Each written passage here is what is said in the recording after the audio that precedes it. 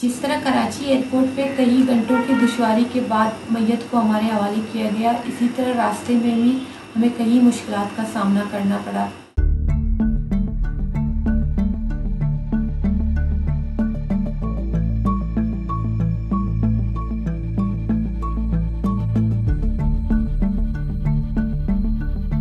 रास्ते में कई लोग वानों के इस्तकबाल के लिए खड़े थे। लेकिन और वो रुकने का इशारा कर रहे थे, सलामी दे रहे थे, लेकिन हमें कहीं पे भी रुकने नहीं दिया गया। वो कह रहे थे कि हम किसी भी सूरत आना चाहते हैं, क्योंकि वो हमारे घर की वो हमारी बेटी है, हम उसके साथ एक आखिरी दफ़ा साथ उसके चलना चाहते हैं।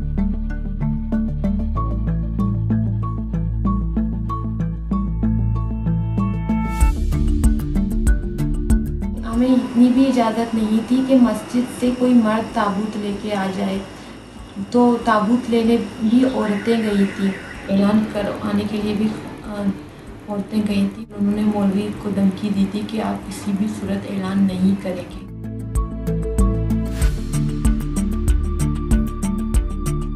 सोशल मीडिया पे चल रहा है कि जी देखें, ये खुदा न खास्ता कैसा बड़ा गैर इस्लामी, गैर बलूची वाक्य हो गया है कि मर्दों को उसकी लाश उठाने के लिए नहीं छोड़ा और औरतों ने उठाया।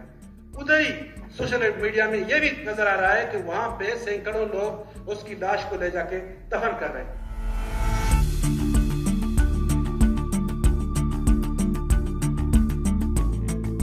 वीडियोस में जो भी लोग हैं, वो हमारे अपने इलाके तुम के ही हैं।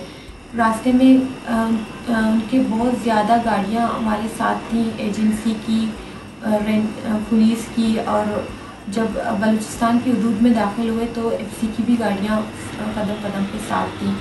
जब हम इलाके पहुँचे तो वहाँ पे हमें किसी से भी फैमिली से भी रबता नहीं हो रहा था। मेरा, मेरे भाई से रबता नहीं हो रहा था क्योंकि वहाँ से, वहाँ पहले ही नेटवर्क बंद थे। दूर के इलाकों से पैदल आ रहे थे। पैदल के भी सारे रास्ते बंद कर दिए गए थे। हर तरह से लोगों को रोका गया है और वहाँ पे बहुत ज़्यादा सख्ती थी, बहुत ज़्यादा।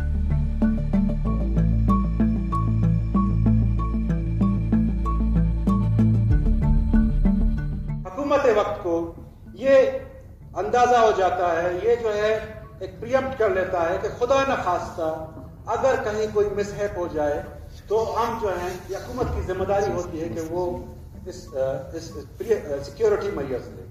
हुकूमत ने किसी ने उस लाश को खुदा न खास्ता ना अगवा किया ना उसको अपनी तहवील में लिया ना कोई और उसका एजेंडा था।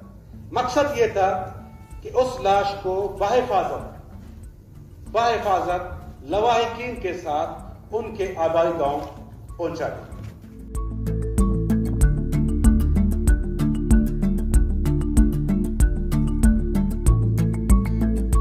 ने कहा कि हम अभी फ़ौरन तदफीन करना चाहते हैं क्योंकि हमने कबर पहले से तैयार कर दी है।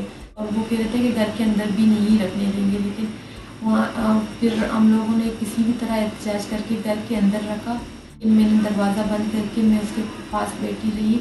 जब तदफीन हो गई तो मैंने कहा कि हम लोग कुछ देर के लिए उसके पास दो तीन घंटे बैठ के कबर के पास कुरान शरीफ पढ़ेंगे तो हमें इजाज़त नहीं दी गई उन्होंने कहा कि किसी भी सूरत में इजाज़त नहीं देंगे, आप लोग यहाँ से फ़ौरन चले जाएँ।